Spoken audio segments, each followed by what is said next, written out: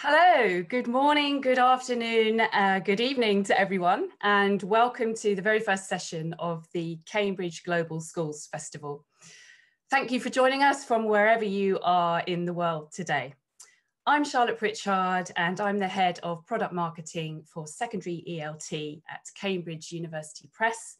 And I'm your host for this session, which is entitled Education for a Sustainable Planet. So I'm looking forward to introducing you to our speaker shortly. Um, but before I do, I just want to say that you are welcome to post any questions in the Q&A box, and I'll be pleased to relay those questions to our speaker at the end of the session. We will also be posting a link for you to download your certificate of attendance for today's session towards the end of the webinar in the chat box. So click on the link download the certificate. You can then put your name in the blank space and um, save it or print it out. But don't worry if you miss it because you will receive an email with the talk recording and the certificates on Friday. And finally, the PowerPoint slides from this session won't be shared, but the session is being recorded and will be made available on our Cambridge ELT YouTube channel in a few days time. So on to our exciting first session of the festival. Um, and it is my great pleasure to introduce you to Matt Larsen-Daw.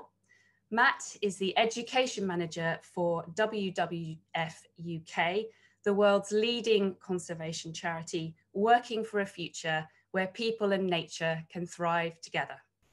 He is also chair of HVP Nepal UK, supporting schools and projects in Nepal that aim to transform society through education based on human values philosophy. Over to you, Matt. Thanks so much, Charlotte. I'll just share my screen.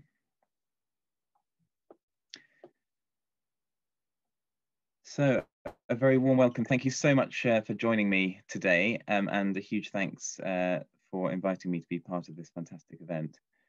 Um, so as, as you heard, WWF is the world's leading uh, independent conservation organization with a mission to create a world where people and wildlife can thrive together.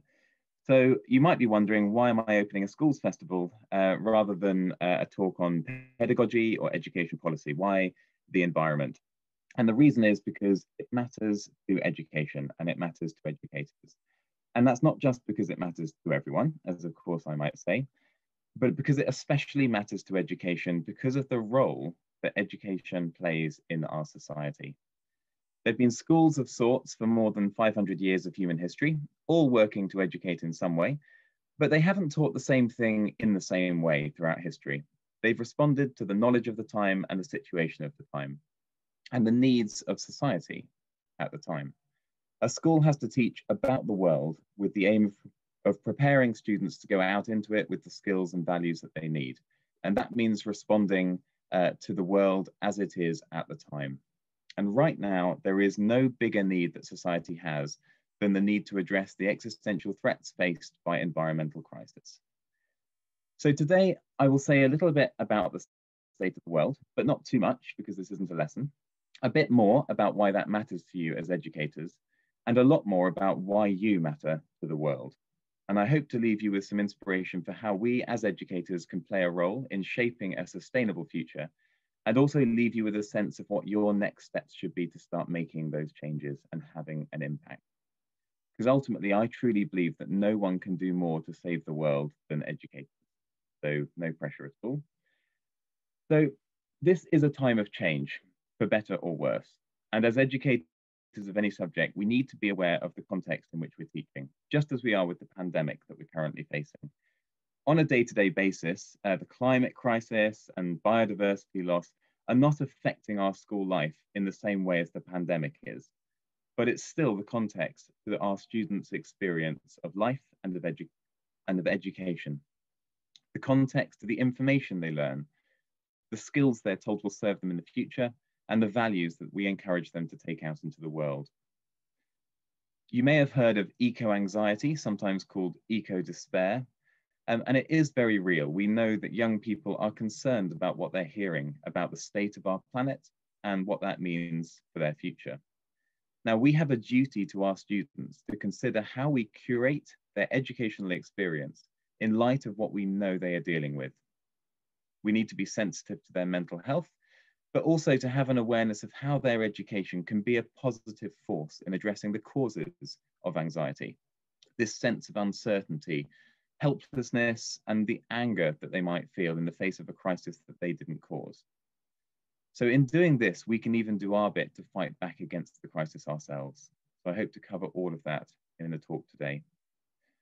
So I mentioned that I wouldn't talk too much about the issues themselves. Um, it is useful to give a little bit of context, however, um, but rather than just uh, hear it from me, I thought I'd just show a very short video, which is actually uh, created for the classroom, uh, where Sir David Attenborough, the naturalist and broadcaster, uh, will just give you a little overview of the situation in which we find ourselves now.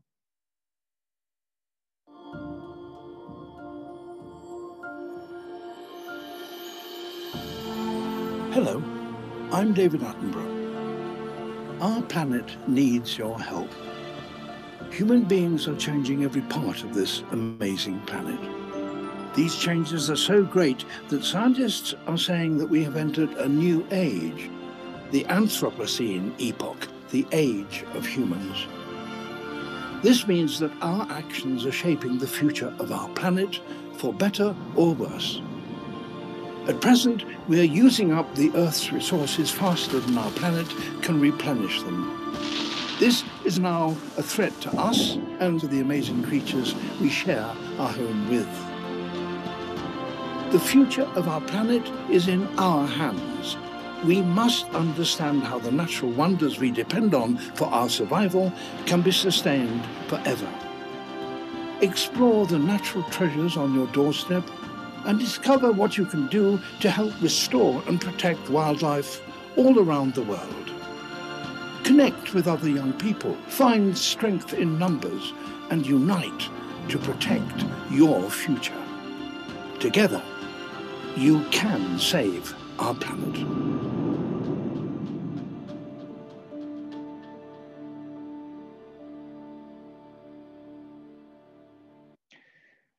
So that's our mission. So I'll mention uh, as well, as part of this context, the Living Planet report. Um, this is a report that uh, WWF brings out every two years. Um, and the importance of this report is that it works from the idea that the world works like a living system.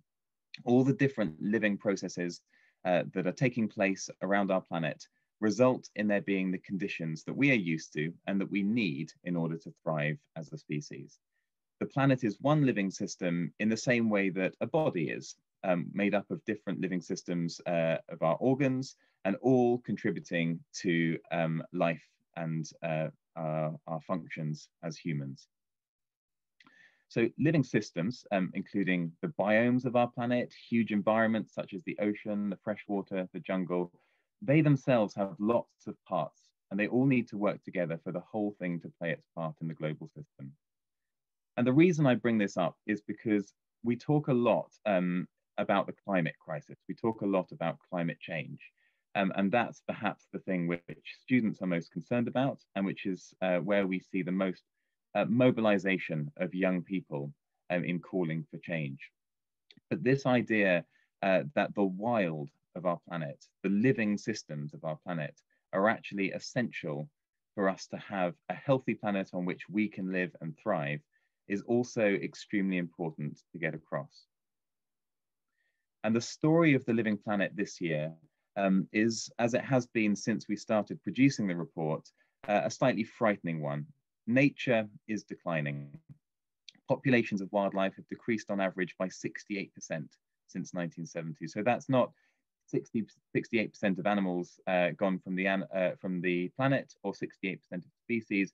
It's every single species of uh, animal that is studied for the report has declined in numbers by 68%. And humans are the cause of this loss of biodiversity. Overfishing, overfarming, uh, conversion of land, use of pesticides in farming, plastic pollution, climate change caused by fossil fuels, and food waste, which means that we're producing uh, so much more than we actually use. And why does this matter? Well, humans need nature. We need it to grow our food, to have access to fresh water. We use it to produce energy. We need it for the, uh, the climate uh, to be stable and for the air to be clean. It's extremely important for our health and also our well-being, our mental health. So this loss of wildlife from the planet is an extremely important crisis we face. How can we bend the curve of this loss? How can we make that graph that shows biodiversity uh, dropping year on year, how can we bend it back up? And that's an extremely important issue for us to be aware when we're talking about the climate crisis and about all the other uh, issues of, of concern to our students, um, because it's often overlooked, but it's actually one of the most important things. And we're at a pivotal moment in the history of our species right now. This is the first time in our history when we've been able to actually understand the impact we are having on the world. And it's the first time we've had the means to act, to save nature.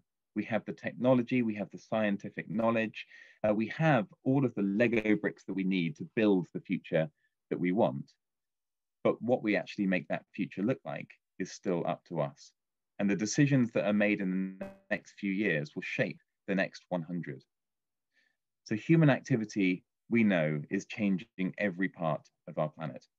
And these changes are so great, as you heard from David Attenborough, um, that some scientists are saying we're entering a new epoch on our planet. And uh, what that re really means uh, is that we are changing the conditions for life on our planet. If you look back through the fossil record of our planet, you can see the changes in epoch as lines in the fossil record when the conditions have been changed, normally by a great cosmic event like a meteorite or geological events uh, causing the atmosphere to change. And that means the conditions for life change and therefore life changes. But this is the first time that a species on our planet, humans, have actually been responsible for a change of that scale. And so this is the context that our students are living in a moment that has never come about before and which will, it cannot ever come about again. And this Anthropocene theory uh, is a really interesting way of thinking about the crisis because it sounds scary, but actually it also provides us with a sense of hope. Because what it means is that humans are the greatest force for change on our planet. We are the ones responsible for uh, all of these uh, changes that we're seeing in the conditions for life because of the huge impact that we have on the landscape and on wildlife and on the atmosphere. And we can use that power for good. We can shape a positive future.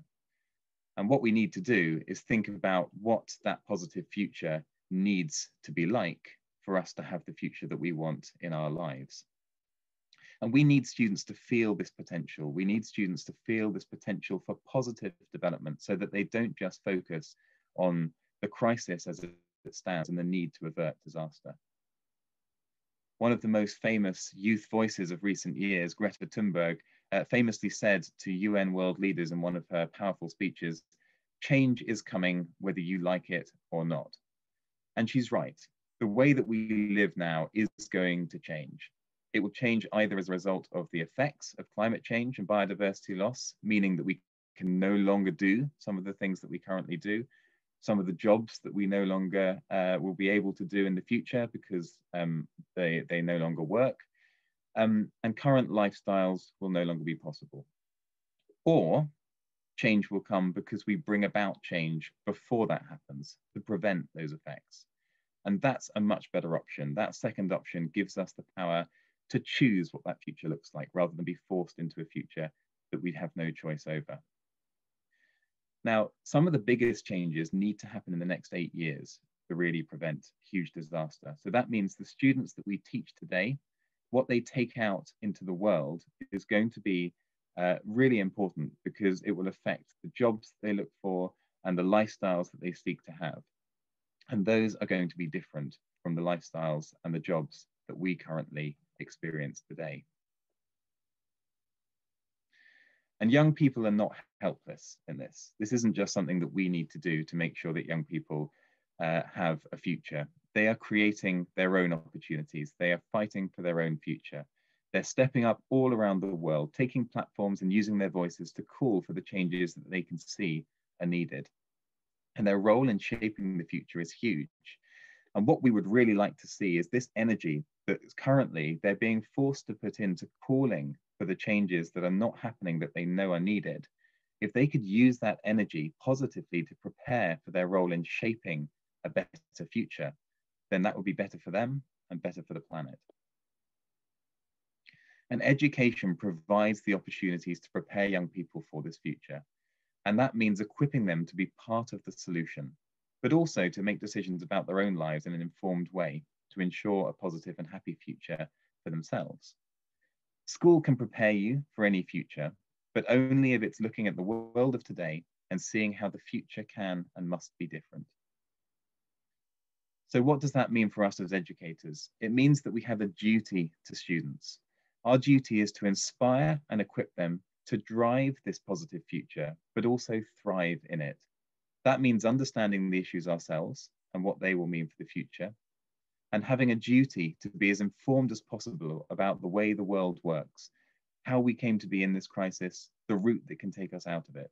Because only then can we respond to students when they're confused or concerned and only then can we help them to prepare to be a force for good now and in the future. So this does not just apply to the teachers of the subjects that might seem related to this. This doesn't apply just to geography teachers, science teachers. This applies to all educators that are working with students and nurturing them to be the next generation.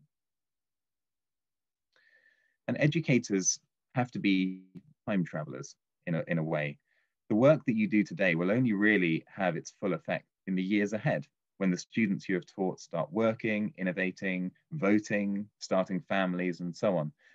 The values and the knowledge that you give them today is going to start taking effect in the world in the future.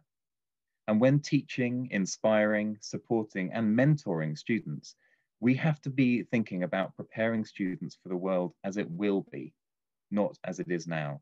So unlike most in society, we have, as educators, we have to be thinking with our minds in the future, because that's really what we're working to shape. And so I just wanted to give you uh, a few points that I think are really important um, for us to take into the work that we do as educators, if we really want to bring uh, this positive thinking into the, the lives and the minds of students and prepare them to be this force for change. So the first is teach the connections. I've mentioned uh, how our planet um, works like a living system, like a body. It's the same, uh, the result of that is that anything that we do that has an impact on the planet has an impact on other areas of the planet. Issues are not isolated. And if we look at one issue uh, and not look at all of them, then uh, we're not necessarily able to address even that single issue foster a connection with nature. Young people do not need to be taught to value nature. They need to just have the opportunity to experience it. And then the wonder and the complexity of nature draws them in. It's exciting, it's fascinating, it's enriching. But if young people are not given opportunities to experience nature firsthand, to get out, get their hands dirty, experience bird song, the sound of, of uh, wind in the trees, um, then by the time they can seek those opportunities out for themselves, they might be somewhat immune to them. Fostering that connection with nature is incredibly important, and it's particularly important at schools because schools can be a great leveler. You can't say for sure uh, what students will have those opportunities at home. It depends on the interests of their parents, where they live, um, what their parents uh, are able uh, to do, whether they have a garden, whether they are near a park, and so on. And at school, you can make sure that all young people can socially have those experiences of nature.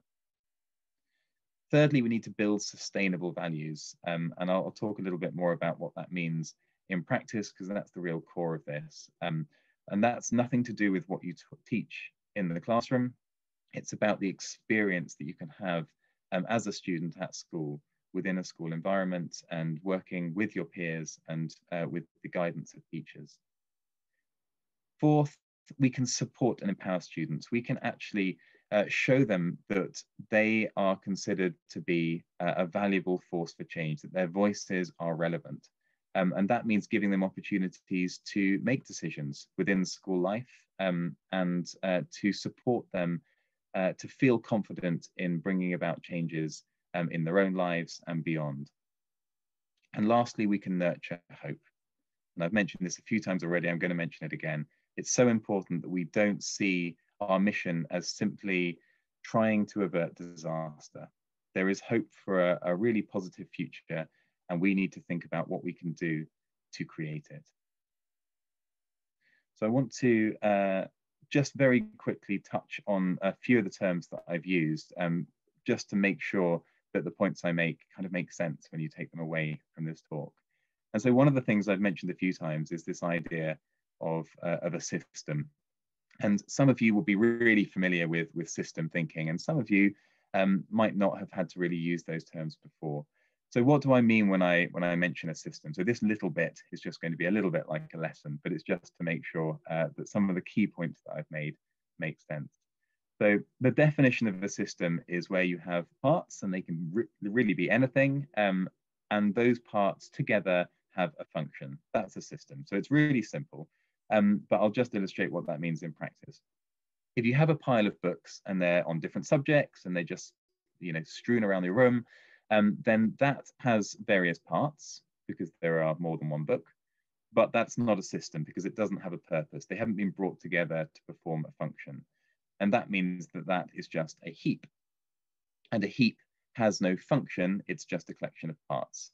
Unless you're a cat, of course, because cats will always find a function for uh, a pile of books, especially if they're the books you need for an upcoming webinar.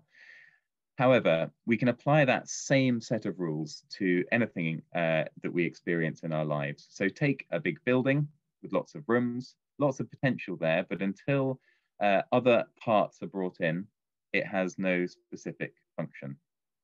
Add an educator, add students and a system for them to come through and, and take part in lessons. And suddenly you do have a system, you have a school. So we're all part of a system as educators. Uh, and our function is to bring education to students. And of course, that means that those parts and the books within that school suddenly are all part of a system that does have a function which is getting an education. So to go further than that, um, some systems are made up of parts that cannot have a function in their own right. So books obviously do individually uh, have a purpose and, and they are useful things and they can take part in lots of different systems. Um, some parts uh, have no value outside the system in which they're in.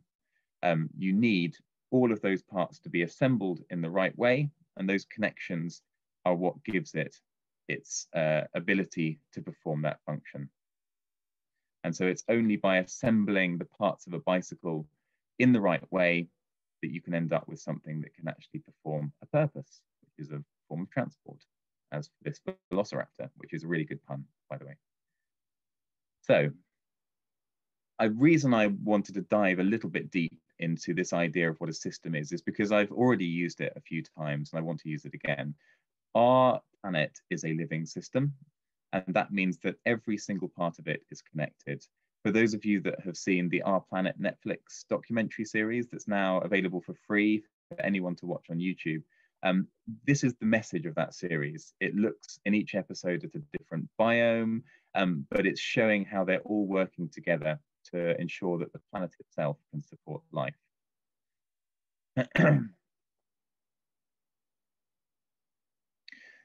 so this idea of system thinking is something we can apply whenever we're thinking about the environmental crisis, when whenever we're talking about any real world issues. And it's really important because our tendency is to go for stories. We like stories, stories that have a simple arc, stories that start with a threat. And then there's a solution presented that you can fight for. And then when that solution is achieved, you have your resolution, you have problem solved.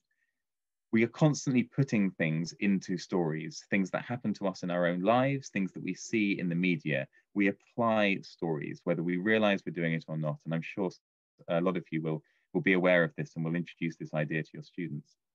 And it's really useful because it helps us to communicate things, it helps us to remember things. Um, and it puts boundaries around something that otherwise can be a bit scary or confusing because it's got so many complex parts. And it just makes it manageable and helps you to understand uh, what needs to happen next uh, to get the outcome that you would like, the end to the story that you would like. We like a dragon to slay. We like a problem that we can see, point at, and then go and fight. So Blue Planet 2, for those of you that saw that show, um, it showed a particular problem. It wasn't the subject of the series, but it showed uh, the impact of plastic pollution on the ocean. And it captured the imagination because pe people can see the problem. They can see it in their houses, the shops they visit, and even in ecosystems that they visit. In, in wild landscapes, they can see bits of plastic. They can see that the problem's there and they can think, okay, I can see against it. What can I do? Um, and that's great because that is a problem and we do want people to feel like they should try and address it and that they need to address it but the problem with these simple stories is that they don't have the whole picture. And when you understand that each thing that you see is part of a system um, it becomes a really important way to think about how we can come up with a solution. When this nuance when these complexities are missing it can cause confusion. I've had conversations with people about plastic objects um, being bad uh, when they're actually useful or harmless. Toys that you're going to keep for life and they're not going to enter the ecosystem, but they're resilient and they're safe for, for children. Tupperware, again, it's something that you're just going to use over and over again and that can actually stop uh, single use uh, waste and food waste and all sorts of things. Medical equipment, where we need the properties of plastic um, to, to serve a really important purpose. And the issue is not plastic. Can't hold plastic up like a dragon and fight against it. The issue is the amount of single use plastic making it into the ecosystem. And if you think of all the different steps along the way that leads to what you can see on the slide now, um, it's not just a case of plastic being in existence. It's uh, plastic being uh, created and used for things that doesn't need to be plastic. You don't necessarily even need those things at all. You definitely don't need things to be packaged in the way they are. And then you've got people uh, able to create those things and sell them without taking any responsibility for the impact on the environment. Then you've got people buying them and choosing to buy them over things that might be less packaged and then throwing that stuff away. Then you've got the problem with things being thrown away, not being recycled. And so all of these different things result in something going into the ocean. It's not as simple as just trying to, uh, to slay that dragon. And you can apply this, this idea of systems thinking, thinking about all the complex interrelations between uh, different parts um, to any issue. And it's so much more valuable when we want uh, to come up with a solution that will work. And that's something that we really need to try and embed in the next generation. It's something we really want to encourage students to apply themselves, not to learn a set of, of, um, of facts about, for example, plastic pollution in particular, but to learn to look for those connections and to think about the complexity and to think about how things are part of a wider system. Things are never just bad or good. It's about uh, the uh, the other things that are um, in play that lead to them either having a bad or a good effect. And so this can sound a bit frightening. It feels like things are so much more complex than perhaps we would like them to be if we want to actually engage students and if we want to get students to understand what they can do. But actually, a reassuring point for you, it comes down to one core principle that you can teach, and that is the importance of sustainability. And it's actually really simple. We use the word sustainability a lot, um, and it's used a lot by businesses, uh, by companies, by the creators of products. And normally they just mean, oh, it's a bit more environmentally friendly than it might be. Actually, sustainability is a very simple concept, but it can only mean one thing. It means what we do, we must be able to do forever. If an action or a product um, results in uh, destroying the things that are needed to do that in the future, then it is not sustainable. It could not carry on forever. And again, nothing is good or bad necessarily. No lifestyle choice, no diet choice, no product. It's just that the total of all that we're doing needs to be in balance. We need to be doing things that nature can cope with. So this means we need to change the way we think, not set a put a set of rules on the way that we live. Students need to have sustainability as a core value, and they need to know through experience what it means in practice. And that means going across and beyond all school subjects. Every subject and activity can and should be informed by the importance of sustainability. and when I talk about sustainability, you may well uh, think of the Sustainable Development Goals, the UN Global Goals, um, thinking about the, the positive future that we could create by achieving these 16 goals and the 17th being working in partnership to achieve them. Um, and all of these being uh, equally important. And they are, they're incredibly important for a future in which humans are equal and have a healthy, happy life. But right now, at WWF and other organizations would say, no matter how important they all are, we can't get away from the fact that we need to be focusing on the environment. Those four SDGs that I put down in the bottom of that wedding cake, um, because they are the foundation for everything else. If we don't have a healthy planet that works the way it should, which means it needs to be wild, it needs to have all the wildlife working in those ecosystems, um, then we won't be able to think about producing enough food for everybody, having social justice, having stability in society that enables us to give everyone an education. So this is the context in which we're currently living. This environmental crisis needs to be our priority and it needs to be the priority uh, for all of us that are focused on the future. And that's something that all educators are. Sustainable development is about moving forward, not staying where we are. Um, and that means uh, developing in such a way that it makes things better now and in the future for everyone. So I've mentioned educators and education having this unique role to play in fixing these issues. And so a lot of that is about how we prepare students to play that role in the future. And I've talked a lot about that. But I, before I leave you and, and look at questions, I want to give you a sense of the unique power that you have um, as a as a teacher with a school in a school community uh, that you work within.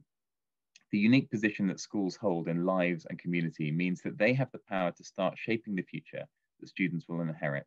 They can take action now on some of the biggest issues of our time. So remember, a school is much more than a machine for educating students. That system uh, that I gave as an example earlier, where as soon as you have uh, students and teachers coming into a building in order to educate, you have a system with a purpose. That's the core purpose of education, for the core purpose of school. But it has so much more of a role to play in society.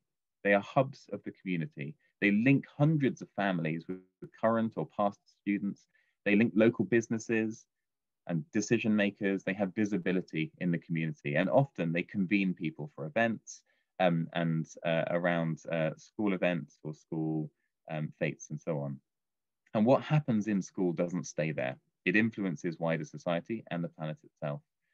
So that means that anything that students and staff can do to help in the fight against climate change and biodiversity loss by bringing sustainability into all aspects of school life has this ripple effect across society and into the future.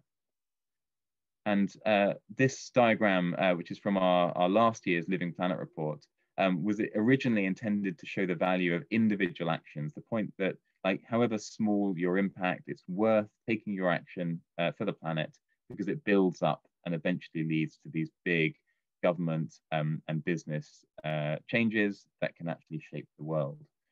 Schools and colleges have an incredibly important role to play in driving individual action, but also bringing individual actions together into community action.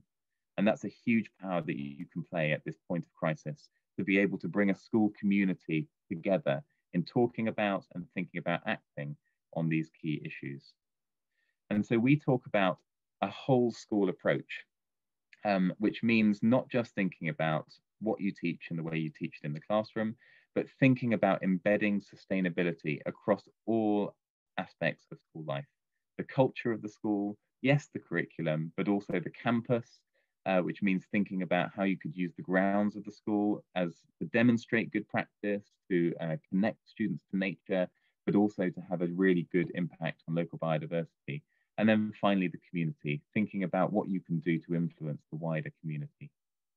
And if you are interested in, in some practical steps for achieving that in your school, do check out um, WWF's free uh, CPD course, um, which uh, there's a, a, URL for it there. Um, and uh, it's free. It takes about five hours in total, but it's five one hour courses. It's all quite manageable. And you get a certificate um, and a Microsoft uh, Teacher CPD badge um, if you complete. So I started with a little clip uh, from David Attenborough, just giving us the context. I wanted to also uh, finish just, or almost finish, with a very short uh, quote from uh, David Attenborough, uh, directed at you as educators. People are the future of our planet. We must equip them with the information, insight, and practical skills to understand the importance of biodiversity, both intrinsically and for the survival of humanity. Educators have a key role to play in preparing young people for the challenges that lie ahead. There can be no greater legacy than giving young people the tools they need to save our planet.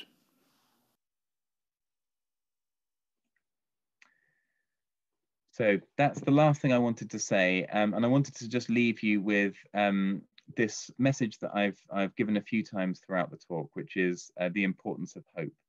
The future is ours to shape, no matter what challenges we might currently be facing as a species and as a society. Um, what's really exciting for students growing up today is the fact that there is going to be a new future. There will be a different future ahead, and they can make decisions now that will help to shape what their future looks like. And that's actually an incredibly exciting and empowering uh, thought. And it gives a huge incentive to prepare uh, to be change makers for the future, to, to do well at school, to look for those skills which you feel would enable you to have the role that you want in that future.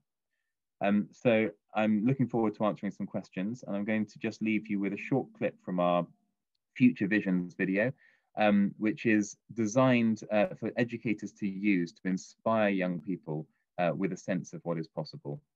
Um, and this has a poem uh, over the top of it from a poet called Benjamin uh, Zephaniah, who's a, a British poet. Um, but there is a version of this video, and it's longer than the clip I'm going to show you, um, with, uh, with no voiceover and some other voiceovers from some other influences as well.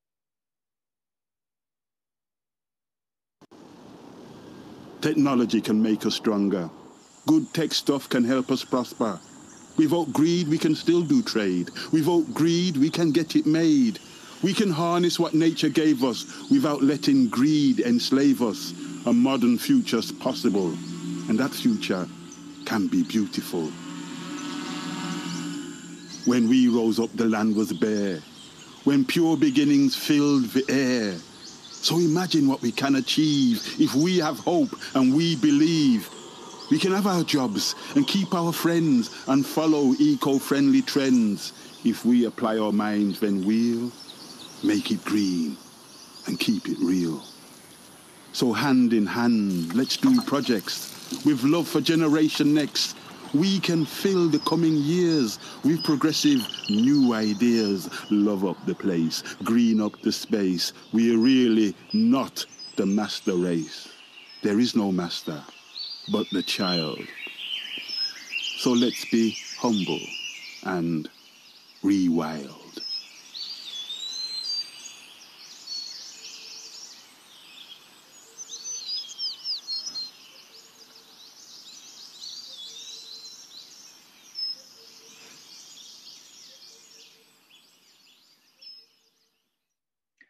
Thank you very much. I look forward to, uh, to some questions. Thank you, Matt. That was really, really interesting. And um, we're getting an awful lot of positive comments about your session. You'll be glad to know. Um, so just got time for a few um, questions and answers. Um, uh, so the first question, Matt, um, the UN Sustainable Development Goals define sustainability more widely than environmental issues and biodiversity. By focusing on sustainability equals environment, are we moving away from the SDGs and is that okay? That's an anonymous question. Yeah, that's a really good question. And, and um, uh, the that wedding cake model that I showed you is, is sort of the way that I justify, if you like, a real focus at the moment on uh, environmental issues. Um, the basis that we, the, the fact that we need a stable planet, a stable climate, and access to the real basic needs before we can actually apply um, those uh, those principles um, that are also really important for just society in the future. Um, so it's not that those aren't important. It's just that right now there's a there's a there's a hill to overcome. There's a crisis to overcome. Um, but it is worth mentioning that uh, we fundamentally believe that whatever changes are made, even if they are just changes that are prompted by a need to address environmental problems, they need to have social justice at their heart as well. If we're shaping a future in the way that we address the current issues, we need to be, need to have in mind what kind of future we want to shape. And that needs to be one that's guided by all of the SDGs. It's one that needs to be guided by equality, um, and, and all of those um, fundamentals that we think are important for human life. Great. Um, okay, we've got another question here from Hello School Online. Um, how do you recommend introducing this topic for young learners that is less than six years old? Uh, yeah, really good question. So um, we we kind of track a path uh, of, of the development of a young person. And at that age, we think that the most important thing that can be addressed uh, is their connection to nature, just giving them opportunities to discover uh, and and sort of understand nature through practice, through just through experience, through being able to watch it and being able to to, to see it in action. So we've got a number of um, uh, fantastic resources to encourage young people uh, to just explore and enjoy uh, the nature on their doorstep. Um, and obviously, with with uh, in school life, you can create opportunities for young people to have those nature experiences across any subject and outside subjects as well. Um, so I think understanding that there is a kind of pathway uh, that that students uh, go through from early years all the way up to um, to being employed and, and you know being fully trained and so on. Um, and I think right uh, at that early age, it is all about um, finding ways to connect and to discover uh, a passion for nature and I think just uh, it feels like it's just uh, to, to build up their enthusiasm to stand up for nature in the future, but it's more than that. By experiencing nature, you start to see those connections and, and feel them uh, without necessarily even having to be taught them. Great. Um, I think we've got time for just one more question. We're getting a little bit near to the end here. Um, so can you suggest some examples of group projects that can be taken up at primary class level to promote sustainable values that ensure also ensure maximum participation. I think maybe one project, maybe Matt, um, in, in if you've got about a minute and a half. okay. Sure. Um, well, I think given what I've just said and, and that sort of focus on on understanding and experiencing nature, I think one of the most amazing things that you can do is is to have young people go out and explore the grounds of your school or, or whatever green space you have access to locally um, and just to to uh, communally um, discover what the ecosystem has within it, but then come back together as a class and think about what you could therefore do to improve um, uh, the, the situation for nature. Um, and obviously, it depends on your local environment, it depends where you are, and it depends what wildlife you discover is there or isn't there that you might expect. But it could be as simple as, uh, as planting some wildflowers, it could be as simple um, as growing uh, uh, some trees when you don't have any trees, but you do have lots of plants. Um, or it could be something a bit more complex, like starting a, uh, um, a pond uh, and, and, creating a new habitat that's going to attract new species and so on. And what's really fantastic about that is that students can see the direct result of something that they have been part of um, on the ecosystem. And then you can teach them how that's actually having uh, a wider impact as part of the global ecosystem. Brilliant, well timed. okay, so we're drawing to the end of our session now. Um, so I just wanted to thank Matt for a fantastic session. Um, it's been really interesting with some amazing and thought-provoking images throughout, I have to say. Um, and thank you to everyone for joining us today and some, some great questions. So just a quick reminder before the end of the session, you can download your certificate by clicking on the link and the session will be available to view again on the Cambridge ELT YouTube channel in a few days time. And next up in our programme today, we have an instant teacher takeaway session entitled Resilience, Keep Calm and Carry On with speakers Rachel Jeffries and George Heritage. So thank you everybody and have a really great day. Thank you, Charlotte. Thank you, everyone. Thank you, Matt.